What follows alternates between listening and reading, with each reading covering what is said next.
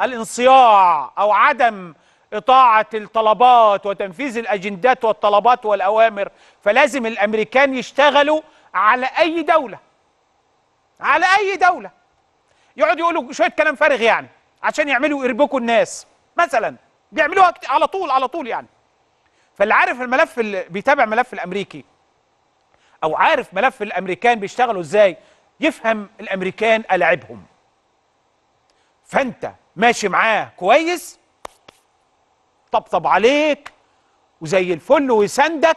لا مش ماشي معاه كويس يقعد بقى إيه يعني زي ما أنت عايز. يعمل لك بقى هنا في فرنسا يعمل لك إيه يروح بقى يعمل في 2011 مصر يعمل كذا يروح تونس بقى كذا يعمل سوريا إيه يعمل زي ما أنت بتشوف كده. ده الأمريكان. ماكرو النهارده بيتكلم على أوروبا استقلال القرار وسيادة أوروبا.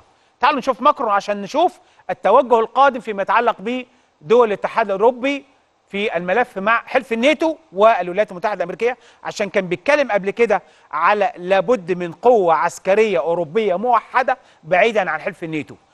عارفين بعد ما قال التصريح ده ماكرون من كام سنة؟ اتعمل له المظاهرات اللي ما خلصتش من ساعتها النهارده من 2019 ما خلصتش. ما خلصتش.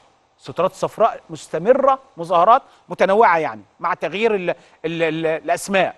لكن في الآخر إنه في مظاهرات شغالة. من 2019 وإحنا جايين ما عدا فترة كورونا. نشوف